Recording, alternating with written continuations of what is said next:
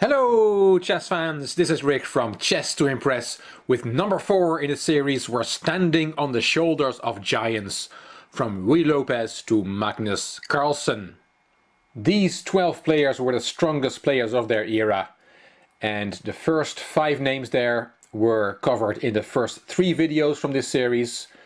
Ruy Lopez de Segura, Leonardo da Cutri, Paolo Boi, Alessandro Salvio and Gioacchino Greco you can find those videos in the playlist.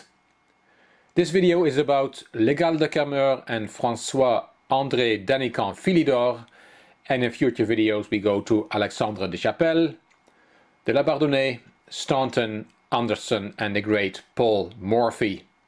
Then we move on to the official world champions Steinitz, Lasker, Capablanca, Aljochin, Euwe, Botvinnik, Smyslov, Tal, Petrosian, Spassky, Bobby Fischer, Karpov, Kasparov, Kramnik, Anand and the current world champion Magnus Carlsen. Back to the first list, as you can see between Greco and de Kermeur there is about 100 years of a difference. The center of the chess world moved from Italy to France. It's not clear who was the strongest player of their era in those 100 years, so that's why we have that gap. Legall de Kermeur was seen as the strongest player between 1730 and 1755 and let's find out a bit more about that man. This is what he looked like, friendly smile. He was born in 1702 and died in 1792 at almost 19 years old, which was of course very old for that, for that era. Along with other famous players, he played in the center of the chess world, which was the Café de la Régence in Paris in France. And he's considered to have been the strongest player in the world from around 1730 to 1755. He taught his successor, Philidor, to play chess and lost a match against him in 1755. Only one game of de Kermeur has been preserved, and that was against Saint-Bris played in 1750 in the Café de la Régence. And in this game we see the famous mate that is named after de Kermeur. Let's have a look at that game. e4, de Kermeur is white, e5 from Saint-Bris, knight f3, d6, that is what was called later the Philidor defense, bishop c4, bishop g4, knight c3 and now black has a number of good moves. Develop the knight to f6 or develop the knight to c6 they are both good moves but Saint-Bris blunders here. He plays g6 and now we have the famous move knight takes e5 sacrificing the queen but if you take the queen, then there is bishop takes f7 check, king e7, and knight d5 checkmate, which is called Legall's mate after Legall de Kermeur. Let's go back to knight takes e5. Okay, you cannot take the queen, but if you take the knight, then there is queen takes g4, and you've lost the pawn with black. White has an overwhelming position already. It's a pity that no other games of Legall de have been preserved. This game is the only one. It's not sure, of course, if this was a real game or if this was a composition uh, by Legall de to show this famous mate. Anyway, his name lives on in the chess world with Legall's mate. Let's move to the seventh giant and that's François-André Danican Philidor and this is what he looked like. He was born in 1726, died in 1795. Apart from a chess player, he was also a composer of music and one of the founders of the French comic opera. One famous quote from Philidor is, the pawns are the soul of chess. And his actual words were, they are the soul of chess it is they which uniquely determine the attack and defense, and on their good or bad arrangement depends entirely the winning or losing of the game. He's also famous for the book he wrote on chess, Analyse du jeu des échecs, was considered a standard chess manual for at least a century. The tragedy was that Philidor was too far ahead of his time, and that's a quote I got from Garry Kasparov's book My Great Predecessors, because nobody could play in the positional manner proposed by him. The chess world was not ready yet for the general principles of positional play. For more than half of the 19th century, the romantic trend of the Italian school dominated. Let's look at one of Philidor's games. He played this as black against Captain Smith. Again, it's not sure if this was a real game or if it was a game that was composed by Philidor. It's supposed to have been played in London as a blindfold game, which probably means that only Philidor was blindfolded on the 13th of March 1790. Let's have a look. Captain Smith opened e4 and Philidor played e5, bishop c4, knight f6, d3, c6 to prepare the d7, d5 push, bishop g5, h6, here on this move d5 was an alternative. Captain Smith decided to take on f6, give the bishop pair. Philidor took with the queen and knight c3. By giving the bishop pair, white has stopped black playing the d7, d5 move. But he played b5, bishop b3 and a5, grabbing space. And we can see here Philidor convinced that the pawns are the soul of chess. He's pushing his pawns. a3 to make a square for the bishop. Bishop c5, knight f3, d6, queen d2, bishop e6, white took on e6 and Philidor took back with the pawn. From his book Analyse du jeu des échecs Analyse du jeu des échecs, I quote, It's always advantageous to exchange your f-pawn for the e-pawn, since this leads to the seizure of the center and in addition to the opening of a file for a rook. Of course here it was not the f-pawn that got swapped for the e-pawn, but the principle is the same.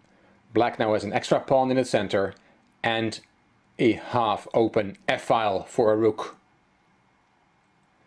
f takes e6 is much stronger than queen takes e6. White castled, g5, h3, knight d7, knight h2. That's not a great move. Knight e2 to prepare the b2 b4 move is better. White really has to develop counterplay on the queen side.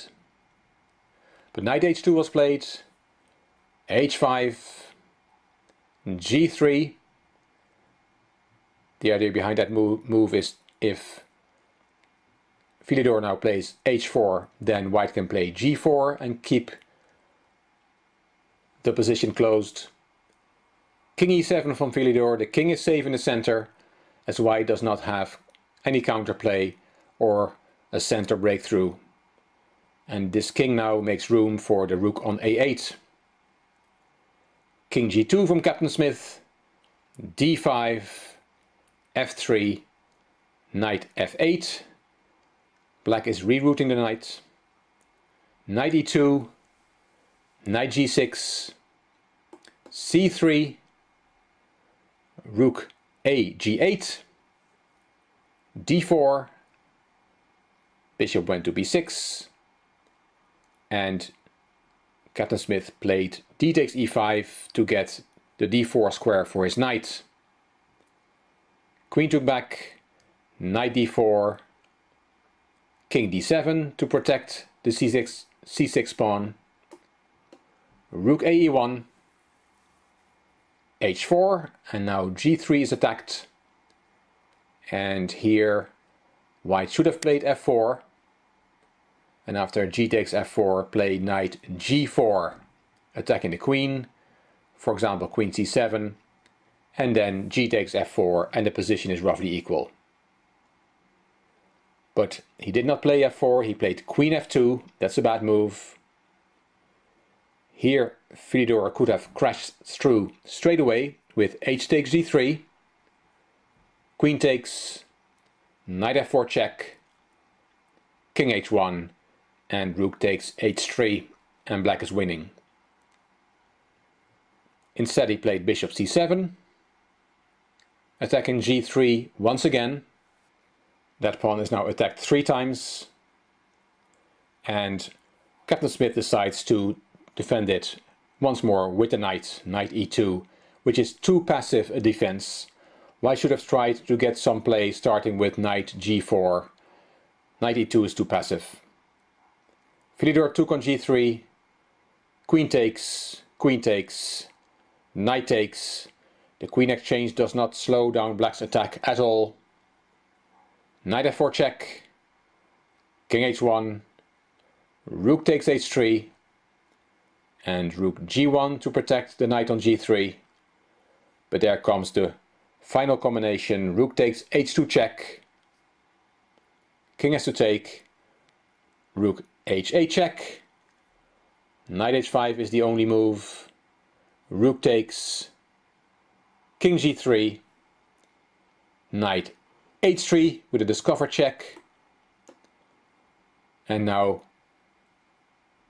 White could have prolonged the game somewhat by playing king g2, then black takes on g1, king takes, and rook h2, and black is just a piece up and easily winning. But he played, instead of king g2, he played king g4, and there was a nice checkmate with rook h4. Very nice win, especially as this was a blindfold game by François-André Danican Philidor, the seventh world champion in history. One final position I want to show you, because Philidor's name also lives on in a rook endgame. The method to defend a rook endgame a pawn down has been named after him.